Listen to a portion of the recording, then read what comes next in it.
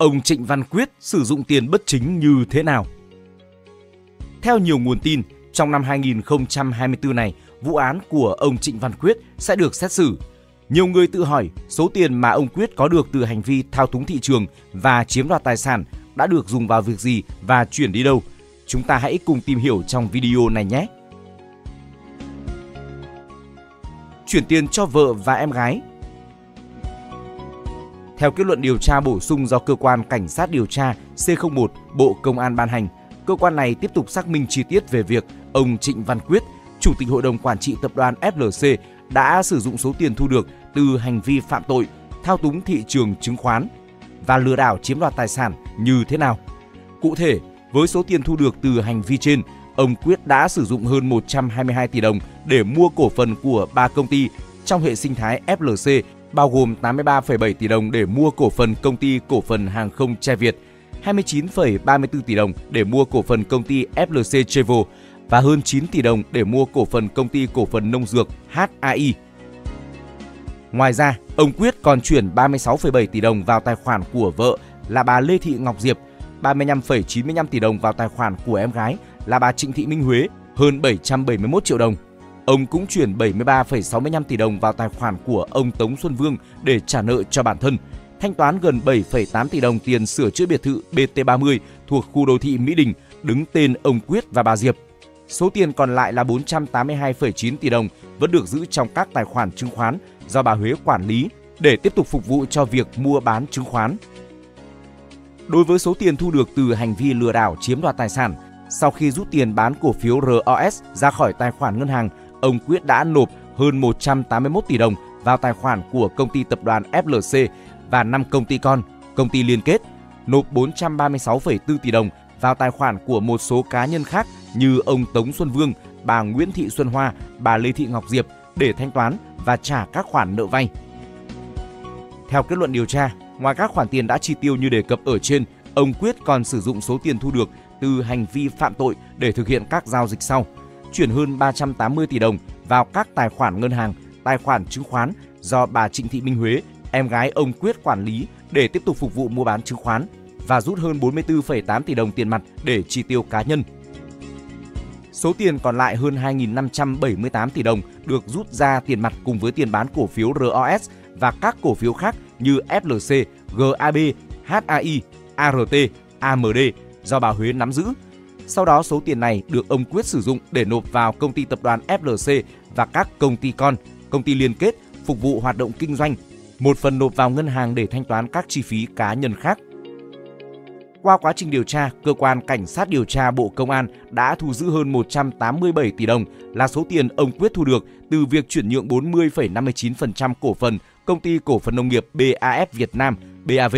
Ngoài ra, cơ quan công an còn kê biên 3 thửa đất cùng tài sản gắn liền với đất tại khu đô thị Mỹ Đình 2, Hà Nội thuộc sở hữu của ông Quyết. Cơ quan công an cũng đã có công văn yêu cầu ngân hàng nhà nước chỉ đạo các ngân hàng ngăn chặn các giao dịch rút tiền, chuyển tiền, khóa chiều ghi nợ đối với các tài khoản của ông Quyết và người thân trong gia đình. Ngoài ra, công văn cũng yêu cầu các địa phương tạm dừng mọi giao dịch liên quan đến tài sản bất động sản, cổ phần, vốn góp thuộc sở hữu của ông Quyết và người thân anh họ, em rể tham gia chuyển nhượng khống cổ phần.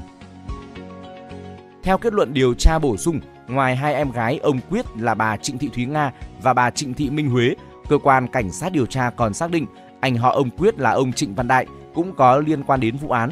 Cụ thể, ông Trịnh Văn Đại sinh năm 1966 là phó trưởng phòng vật tư công ty FLC Land đã được bà Trịnh Thị Minh Huế nhờ đứng tên làm chủ tịch hội đồng quản trị công ty faros từ tháng 4 năm 2014 đến tháng 5 năm 2015 và làm phó tổng giám đốc công ty Farus từ tháng 7 năm 2020 đến tháng 12 năm 2022.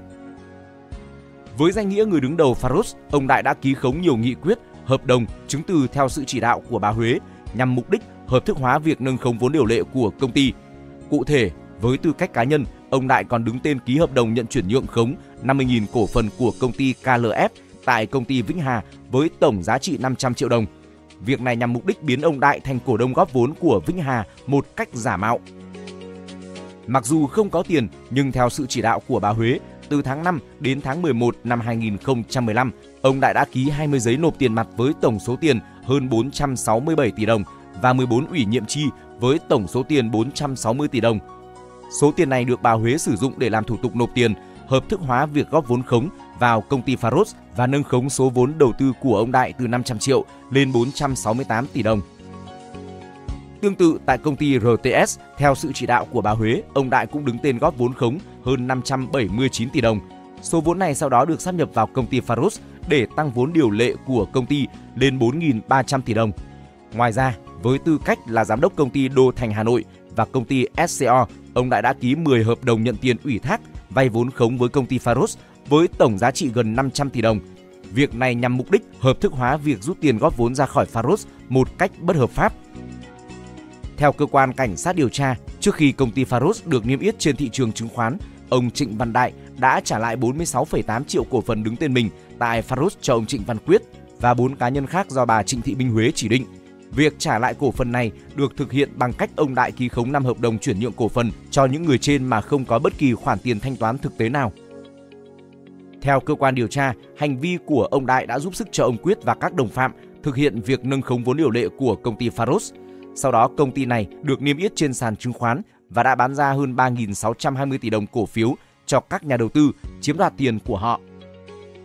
Tại cơ quan điều tra, ông Trịnh Văn Đại không thừa nhận mục đích lừa đảo chiếm đoạt tài sản. Ông khai báo rằng bản thân chỉ nhận mức lương 39 triệu đồng một tháng với vai trò phó trưởng phòng vật tư của công ty FLC Land và 41 triệu đồng một tháng với vai trò là phó tổng giám đốc công ty Faros.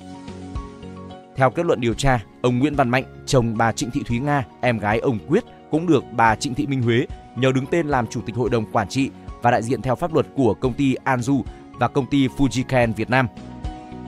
Mặc dù không có tiền để góp vốn, nhưng theo yêu cầu của bà Huế, ông Mạnh đã đứng tên ký hợp đồng chuyển nhượng khống 70.000 cổ phần của công ty KLF tại công ty Vĩnh Hà, sau này là công ty Faros mà không phải thanh toán bất kỳ khoản tiền nào. Việc này nhằm biến ông Mạnh thành cổ đông của Vĩnh Hà một cách giả mạo. Trong ba đợt tăng vốn điều lệ đầu tiên của công ty Faros từ tháng 4 năm 2014 đến tháng 1 năm 2016, ông Mạnh đã ký 49 chứng từ giả mạo gồm giấy nộp tiền, rút tiền, ủy nhiệm chi với tổng số tiền hơn 1.377 tỷ đồng. Số tiền này được bà Huế sử dụng để làm thủ tục nộp rút tiền, tạo dòng tiền ảo, thể hiện việc ông Mạnh góp vốn vào Faros. Nhờ đó, số vốn ông Mạnh đứng tên tại Faros được nâng khống từ 700 triệu đồng lên hơn 462 tỷ đồng.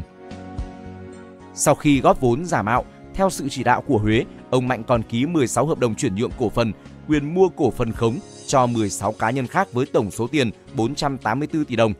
Với tư cách chủ tịch hội đồng quản trị công ty Fujiken Việt Nam, ông Mạnh còn ký 6 hợp đồng nhận ủy thác đầu tư, hợp tác kinh doanh giả mạo với công ty Farus với tổng số tiền 405 tỷ đồng. Điều này nhằm tạo dòng tiền ảo, thể hiện việc góp vốn vào Farus. Khi Farus lên sàn, ông Mạnh đứng tên sở hữu gần 21 triệu cổ phiếu, trị giá 209 tỷ đồng. Bà Huế đã đăng ký lưu ký cổ phiếu này vào tài khoản của ông Mạnh và sử dụng tài khoản đó để mua bán cổ phiếu, chiếm đoạt tiền của các nhà đầu tư. Bạn thân được chia cổ phiếu trả lương cao. Theo kết luận điều tra, hai bị can Nguyễn Thanh Bình sinh năm 1975 và Nguyễn Tiến Dũng sinh năm 1975 đều là bạn thân và cùng quê với ông Trịnh Văn Quyết. Hai ông được ông Quyết bổ nhiệm vào các vị trí quản lý tại các công ty thuộc tập đoàn FLC. Khi được ông Quyết chỉ đạo, cả ông Bình và ông Dũng đều đã ký nhiều biên bản thông qua các chủ trương chuyển nhượng cổ phần cho công ty Faros. Hai ông còn ký các ủy nhiệm chi, rút tiền mặt nhằm phục vụ cho bà Trịnh Thị Minh Huế thực hiện các thủ tục sát nhập doanh nghiệp, tăng vốn điều lệ công ty Faros một cách bất hợp pháp. Trong quá trình giúp sức cho tập đoàn FLC, ông Nguyễn Thanh Bình đã được ông Quyết cho 66.000 cổ phiếu, đem bán được hơn 2,6 tỷ đồng lợi nhuận. Còn ông Nguyễn Tiến Dũng thì không được hưởng lợi ích vật chất nào mà chỉ được trả lương 60 triệu đồng một tháng. Theo cơ quan điều tra, hành vi của các ông Trịnh Văn Đại, Nguyễn Văn Mạnh, Nguyễn Thành Bình và Nguyễn Tiến Dũng đều có đủ yếu tố cấu thành tội lừa đảo chiếm đoạt tài sản với vai trò là người giúp sức cho ông Trịnh Văn Quyết thực hiện hành vi phạm tội. Cảm ơn bạn đã xem video trên kênh Người Thành Công. Đừng quên nhấn nút đăng ký bên dưới để ủng hộ nhóm nhé!